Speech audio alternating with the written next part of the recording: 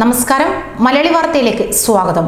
Covid ബാധിച്ച് ചികിത്സയിൽ കഴിഞ്ഞിരുന്ന ഗായകൻ എസ് പി ബാലസുബ്രഹ്മണ്യം വിട പറഞ്ഞു.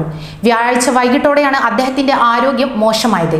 അദ്ദേഹം ചികിത്സയിൽ കഴിയുന്ന ചെന്നൈയിലെ M G M health care വൃത്തങ്ങൾ മെഡിക്കൽ ബുള്ളറ്റിലൂടെയാണ് ഇക്കാര്യം അറിയിച്ചത്.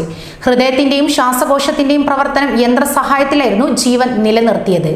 പ്രമേയ സംബന്ധമായ പ്രശ്നം കൂടി അലട്ടുന്നതാണ് നില വഷളാക്കിയത്. സഹോദരി എസ് പി ശൈലജ ഉൾപ്പെടെ എസ് പി ബിയുടെ അടുത്ത ബന്ധുക്കൾ ആശുപത്രിയിലെത്തിയിരുന്നു. എം ജി എം ആശുപത്രി പരിസരത്ത് കൂടുതൽ പോലീസിനെ വിന്യസിച്ചിരിക്കുന്നു. ഓഗസ്റ്റ് അഞ്ചിനാണ് എസ് ബി ബിയെ ചെന്നൈ എം ജി എം ആശുപത്രിയിൽ പ്രവേശിപ്പിച്ചത്. ഓഗസ്റ്റ് പതിനാലോടെ അദ്ദേഹത്തിന്റെ ആരോഗ്യനില തീർത്തും വഷളായത് വലിയ ആശങ്ക സൃഷ്ടിച്ചിരുന്നു. പിന്നീട് ആരോഗ്യം വീണ്ടെടുത്തുവെങ്കിലും ഇന്നലെ സ്ഥിതി ഗുരുതരമെന്ന് കാണിച്ച് മെഡിക്കൽ ബുള്ളറ്റിൽ പുറത്തു വരികയായിരുന്നു. വിവരമറിഞ്ഞ നടൻ കമൽഹാസൻ എസ് ബി ബിയെ ആശുപത്രിയിൽ സന്ദർശിച്ചിരുന്നു. അദ്ദേഹം നന്നായിരിക്കുന്നു എന്ന് പറയാൻ കഴിയില്ല.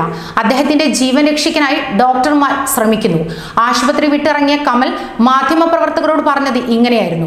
നേരിയ കോവിഡ് ലക്ഷണങ്ങളോടെ ഓഗസ്റ്റ് അഞ്ചിനാണ് അദ്ദേഹത്തെ ആശുപത്രിയിൽ പ്രവേശിപ്പിച്ചത്. ആരോഗ്യനില തൃപ്തികരമാണെന്ന് വ്യക്തമാക്കി അന്ന് അദ്ദേഹം തന്നെ വീഡിയോ പുറത്തുവിട്ടിരുന്നു. ഓഗസ്റ്റ് പതിമൂന്നിന് അദ്ദേഹത്തിന്റെ ശരീരത്തിലെ ഓക്സിജന്റെ അളവ് കുറഞ്ഞിരുന്നു. തുടർന്ന് അദ്ദേഹത്തെ തീവ്രപരിചരണ വിഭാഗത്തിൽ പ്രവേശിപ്പിക്കുകയും വെന്റിലേറ്റർ സഹായം നൽകുകയും ചെയ്തു. പ്ലാസ്മ തെറാപ്പിക്കും അദ്ദേഹം വിധേയനായിരുന്നു. സെപ്റ്റംബർ എട്ടിന് അദ്ദേഹം കോവിഡ് രോഗമുക്തി നേടി.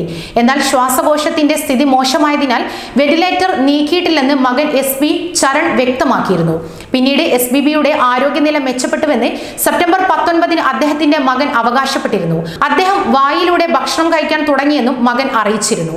അദ്ദേഹം അതിവേഗം ആരോഗ്യം വീണ്ടെടുക്കണമെന്നും എത്രയും വേഗം ആശുപത്രി വിടാൻ കഴിയുമെന്നുമാണ് പ്രതീക്ഷിക്കുന്നതെന്നും എസ് ബി ചരൺ അടുത്തിടെ വ്യക്തമാക്കിയിരുന്നു. തന്റെ കുട്ടിക്കാലത്ത് തന്നെ സംഗീതത്തോട് വലിയ താല്പര്യം പ്രകടിപ്പിച്ചിരുന്ന വ്യക്തിയായിരുന്ന എസ് പി എന്നാൽ അദ്ദേഹത്തിന്റെ പിതാവ് ആഗ്രഹിച്ചിരുന്നത് എസ് പി ബിയെ ഒരു എഞ്ചിനീയർ ആക്കണമെന്നായിരുന്നു.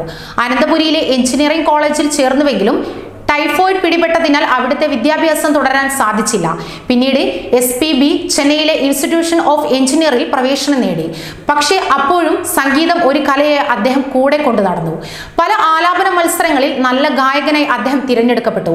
ആയിരത്തി തൊള്ളായിരത്തി അറുപത്തിനാലിൽ മദ്രാസ് ആസ്ഥാനമായുള്ള തെലുങ്ക് കൾച്ചർ ഓർഗനൈസേഷൻ സംഘടിപ്പിച്ച അമച്ചർ ഗായകർക്കുള്ള സംഗീത മത്സരത്തിൽ അദ്ദേഹം ഒന്നാം സമ്മാനം നേടി.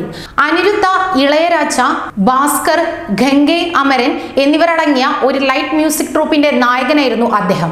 എസ് ബി ഗോന്തട്ടപാണി ഗന്ധശാല എന്നിവർ വിധികർത്താക്കളായിരുന്ന ഒരു ആലാപന മത്സരത്തിൽ മികച്ച ഗായകനെ അദ്ദേഹം തിരഞ്ഞെടുക്കപ്പെട്ടു. എസ് പി അവസരങ്ങൾ തേടി സംഗീത സംവിധായകരെ പലപ്പോഴും സന്ദർശിക്കാറുണ്ടായിരുന്ന കാലത്ത് അദ്ദേഹത്തിന്റെ ആദ്യ ഓഡിഷൻ ഗാനം നിലവേ എന്നിടം തിരുങ്കാതെ കാതെ ആയിരുന്നു. മുതിർന്ന പിന്നണി ഗായകനായിരുന്ന P B Srinivas Telugu Tamil Hindi Kannada Malayalam Sanskrit English Urdu എന്നീ ഭാഷകളിൽ അദ്ദേഹത്തിന് ബഹുഭാഷാ വാക്യങ്ങൾ എഴുതി നൽകാറുണ്ടായിരുന്നു. ചലച്ചിത്ര പിന്നണി ഗായക രംഗത്തേക്ക് അദ്ദേഹം വന്നത് ആയിരത്തി തൊള്ളായിരത്തി അറുപത്തി ആറിലെ ശ്രീ ശ്രീ മര്യാദ രാമണ്ണ എന്ന ചിത്രത്തിൽ പാടിക്കൊണ്ടാണ്. അതിനുശേഷം അദ്ദേഹം മുപ്പത്തി ഒൻപതിനായിരത്തിലധികം ഗാനങ്ങളും പതിനൊന്നോളം ഇന്ത്യൻ ഭാഷകളിലായി പാടിയിരിക്കുന്നു. ഇതിൽ തെലുങ്ക് തമിഴ് കന്നഡ എന്നീ ഭാഷകളിലാണ് അദ്ദേഹം കൂടുതൽ പാടിയത്. ഇതിൽ ഏറ്റവും കൂടുതൽ പാടിയിട്ടുള്ളത് തമിഴിലാണ്. ദക്ഷിണേന്ത്യയിലെ എല്ലാ പ്രമുഖ സംഗീത സംവിധായകരും അദ്ദേഹത്തെ ഉപയോഗിച്ച് ഗാനങ്ങൾ സൃഷ്ടിച്ചിരിക്കുന്നു. ഏറ്റവും കൂടുതൽ ചലച്ചിത്ര പിന്നണി ഗാനങ്ങൾ പാടിയ ഗായകൻ എന്ന ഗിന്നസ് ലോക റെക്കോർഡ് എസ് ബി ബിക്ക് സ്വന്തമാണ്. ഗായകൻ എന്നതിനോടൊപ്പം തന്നെ നടൻ സംഗീത സംവിധായകൻ ഡബ്ബിംഗ് ആർട്ടിസ്റ്റ് എന്നീ നിലകളിലും എസ് പി ബി ജനപ്രീതി പിടിച്ചുപറ്റിയിരിക്കുന്നു. ഏറ്റവും നല്ല ഗായകനുള്ള ദേശീയ അവാർഡ് ആറ് തവണ അദ്ദേഹത്തിന് ലഭിച്ചിരിക്കുന്നു. കെ ജെ യേശുദാസിന് ശേഷം ഈ അവാർഡ് ഏറ്റവും അധികം തവണ ലഭിച്ചിരിക്കുന്നതും അദ്ദേഹത്തിനാണ്. ന്യൂസ് ഡെസ്ക് മലയാളി വാർത്ത.